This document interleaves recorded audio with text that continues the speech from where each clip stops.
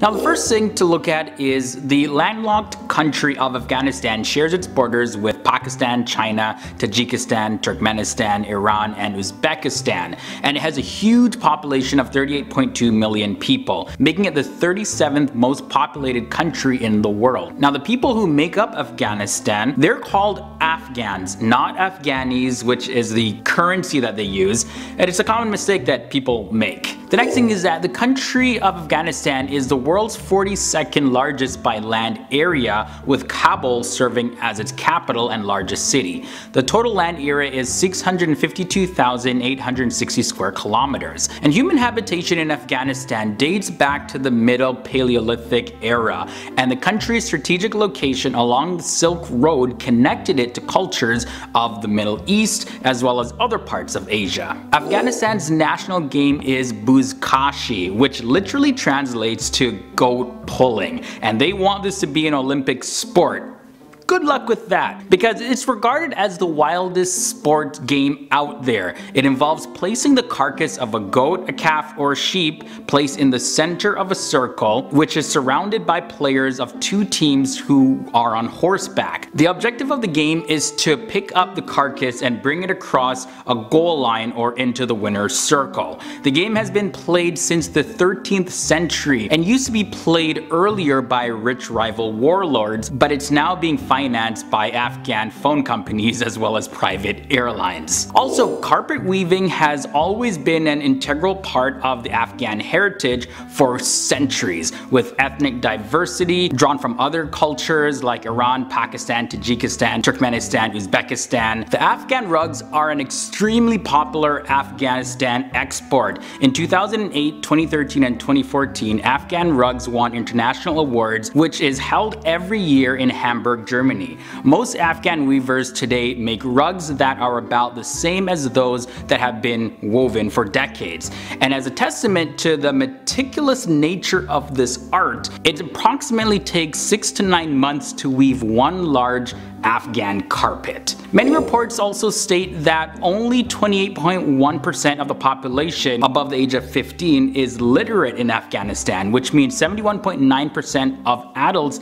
in the country do not have simple reading and writing abilities. And hopefully that continues to change over the years because the more educated you are, of course, the more power to you. It's also the land of opium. Opium is the largest and fastest growing produce in Afghanistan. Afghanistan's opium poppy production goes into more than 90% of heroin worldwide. Afghanistan has been the world's greatest illicit opium producer and in 2017 opium cultivation in Afghanistan reached a record high. The fact that the opium poppy cultivation continues to expand in Afghanistan is not surprising. I mean the country's economy has been in a deep slump since 2013 when the United States and NATO radically drew down their troop presence around which much of Afghanistan's economy was built after 2002. Now the bottom line is that there is simply nothing in Afghanistan that produces more jobs than the opium poppy economy and there's nothing else that would surpass it in the foreseeable future. Another interesting fact is that the world's first oil paintings were not drawn in the Renaissance Europe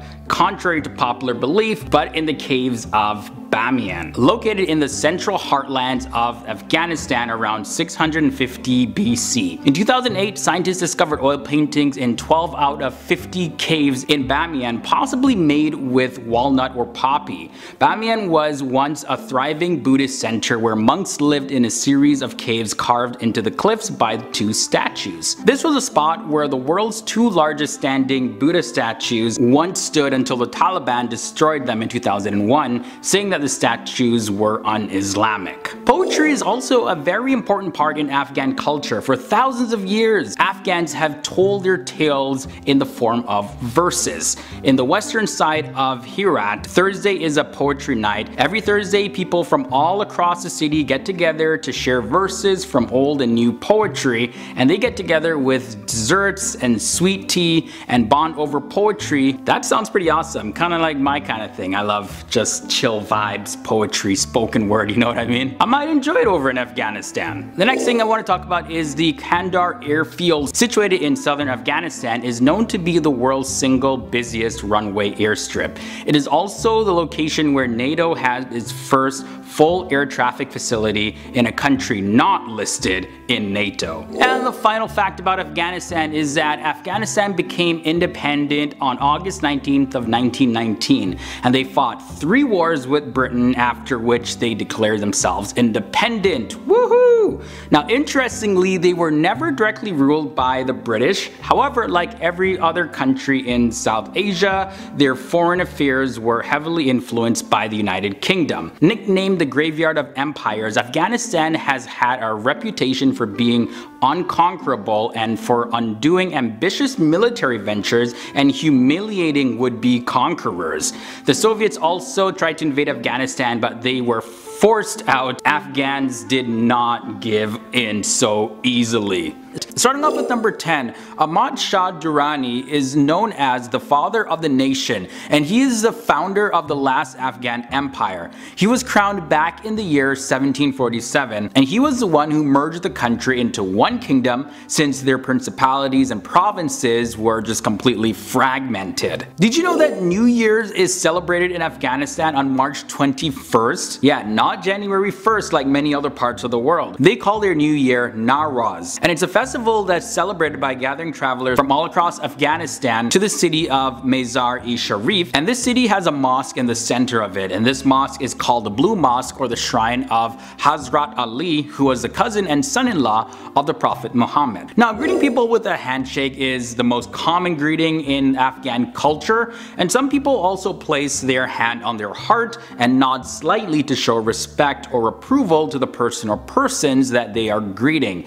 However, shaking hands between male and female is not common and is completely avoided especially in public. So I was curious to know, you know, what languages are found in Afghanistan? Well, in Afghanistan there is Afghan Persian or Dari, which is the official language and is spoken by 77% of the population. There's also Pashto and what I found is that this is also an official language, so it's the second official language spoken in Afghanistan by 48% of the population. There's also Turkic languages like Uzbek and Turkmen and smaller languages like Balochi, and English and Urdu, but those are spoken by a very tiny percentage of the population. Afghanistan is also very rich in natural resources. Afghanistan's natural resources comprise of silver, zinc, gold, copper, and iron ore that are found in the southeast. There's precious and semi-precious stones in the northeast. You'll also find petroleum and natural gas reserves in the northern part of the country. And Afghanistan also has uranium, coal, chromides, talc, barytes, sulfur, lead, as well as salt. This minaret right here is called the Minaret of Jam and it's a UNESCO World Heritage Site in western Afghanistan. It's the second tallest minaret in the entire world and it stands at 203 feet tall. The minaret was built around the year 1190 entirely of baked brick and it has verses from the Quran on it. Now this and other minarets are thought to have been built as symbols of the victory of the growth of Islam in the land. Now speaking of heritage sites, around 400 BC the Greeks built a city at Ai Khanoum which is situated in northern Afghanistan which had a gym and a theater. It also contained the Greek deity Hercules and also a large figure dedicated to the god Zeus. This is also a heritage site. Afghanistan is home also to the famous Hindu Kush which is an 800 kilometer long mountain range that connects central Afghanistan and northern Pakistan. It raises over 18,000 feet and it's also known in ancient Greek as the Caucasus Indicus and also known as the Paropamisades. So the snow leopard here is the national animal of Afghanistan. Now the snow leopard lives in the northeast and the population of the snow leopard it's pretty much a guess like it's you can only roughly estimate but according to some estimates there's between 100 and 200 of these in Afghanistan. The animal is said to symbolize bravery, fearlessness and beauty. A fitting animal to depict the country and the people of Afghanistan. And now the final thing I want to share is that most Afghans were actually Hindu and Buddhist or Zoroastrians way back in the day, but during the Arab invasion in 642 CE, this introduced Islam. Now the Arabs defeated the Sasanians and ruled until the year 870, at which time they were driven out again by the Persians. Alright, let's get started by talking about the capital city. Kabul is the capital and largest city of Afghanistan.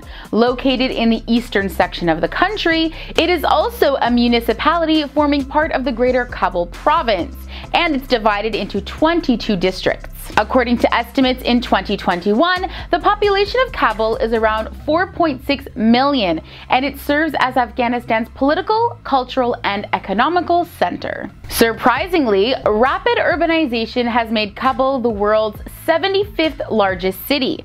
Kabul is located high up in a narrow valley between the Hindu Kush Mountains and bounded by the Kabul River, with an elevation of 1,790 meters, making it one of the highest capitals in the world. Now, this city is said to be over 3,500 years old, mentioned since at least the time of the Achaemenid Empire. Today, Kabul is known for its historical gardens, bazaars, and palaces.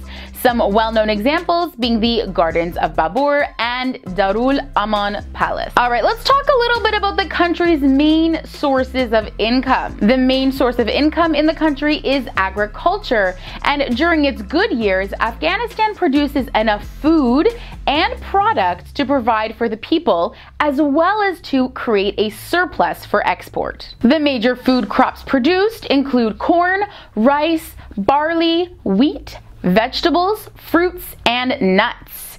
In Afghanistan, the industry is also based on agriculture and pastoral raw materials. The major industrial crops are cotton, tobacco, madder, castor beans, and sugar beets. Sheep farming is also extremely valuable. The major sheep product exports are wool and the highly prized Karakul sheepskins. Afghanistan is also a land that is rich in natural resources.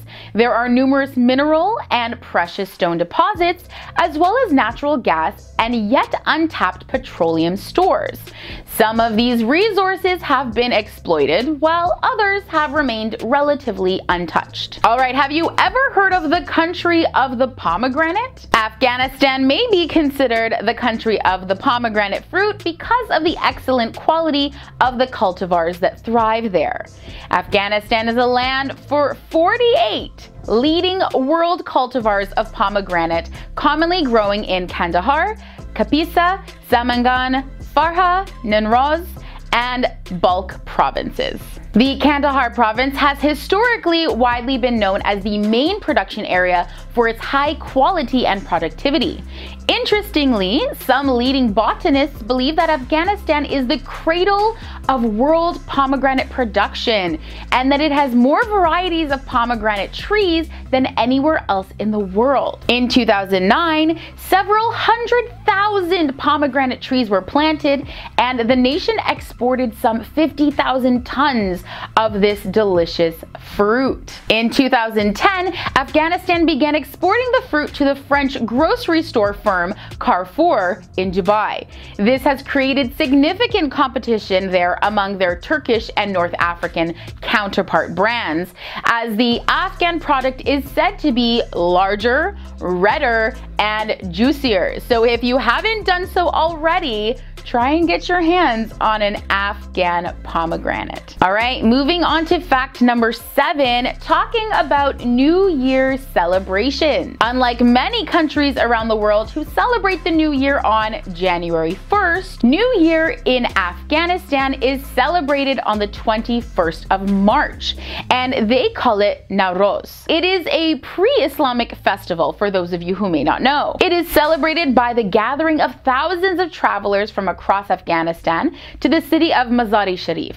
During the first 40 days of the year, this is when it happens, when red tulips grow in the green plains and over the hills surrounding the city. Now, this location is home to a famous mosque in the center of the city. It is known as the Blue Mosque or the Shrine of Hazrat Ali, who was the cousin and son-in-law of the Islamic prophet Muhammad, peace be upon him. During the first two weeks of the new year, the citizens of Kabul hold family picnics in Istalif, Charikar, and other green places where redbud shrubs grow.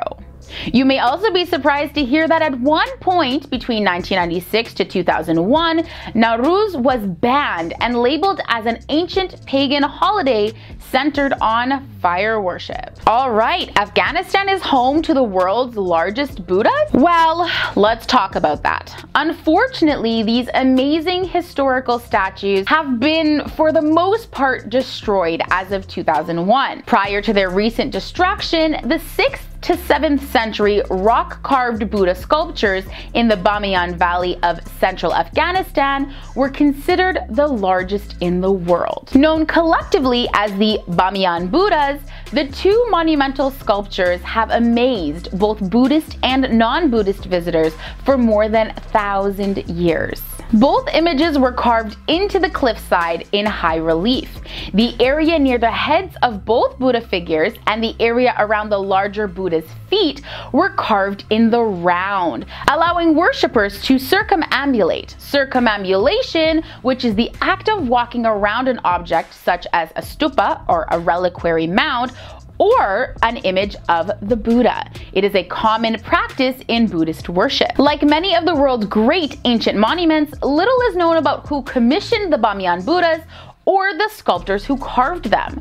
However, their very existence points to the importance of the Buddhist faith and the Bamiyan Valley during this period. Coming in at fact number five, we have accessibility to communications and technology.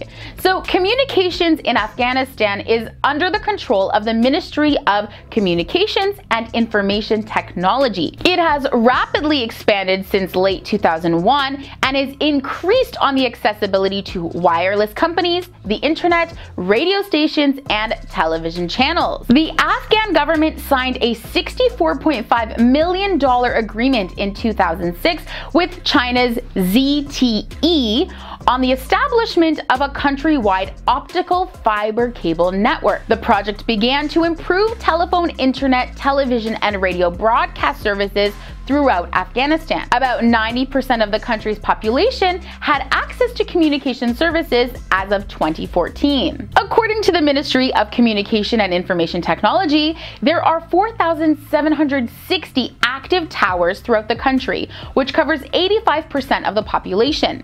The ministry plans to expand its services in remote parts of the country where the remaining 15% of the population will be covered with the installation of 700 new towers. So yes, believe it or not, having a mobile phone is actually considered to be a status symbol for many. Next up, we're gonna talk about democracy in Afghanistan. Well, yes, you may not have been aware, but since 1978, Afghanistan has been in a state of continuous internal conflict and foreign interventions. So it makes sense that having a stable and reliable form of government would have posed as a challenge. But surprisingly, in December of 2004, Mr. Hamid Karzai became the first ever democratically elected head of the state of Afghanistan. All right, coming in at number three, we're talking about the poster boy of Afghan men. Perhaps the most surprising fact for me today is that Arnold Schwarzenegger is considered to be the poster boy for legions of young Afghan men. Photographs of a muscled Arnold in his prime hang from the walls of hundreds of bodybuilding centers across the country. Some Afghans say the action star turned US governor even looks like an Afghan. All right, and let's talk about how the family is essential to Afghan culture. In Afghanistan, men are typically laden with the responsibility of earning for the family, while women are expected to stay home and serve the family. However, in modern Afghanistan, you may also find some women working in the cities and earning a living for themselves and their families. In most cases, the family lives together in the same house. Even upon marriage, the son and his wife live separately in a different room, but still in the family home. So we can see here that the bond of family is so strong that even after marriage, newlyweds are happy to live amongst the rest of the family. Although many other global countries have this same cultural practice, this is quite different than the Western tradition of moving out of the family home and starting a new life in a new home as a married couple. And coming in at number one, we're going to be talking about the religion of Islam. Now, you might be surprised to find out that the history of Islam in Afghanistan is quite detailed and thoroughly documented. Literally, it would probably take me a lot of time to read through all of the details. However, for the simple purposes of this video today, I'm not going to go into the specific details of how Islam was introduced to Afghanistan. However, what I did find interesting was the belief that Arab Muslims spread the religion of Islam in Afghanistan around 642 CE in Herat and Zarang. At the time, they recognized Afghanistan as Al-Hind due to the country's proximity to India.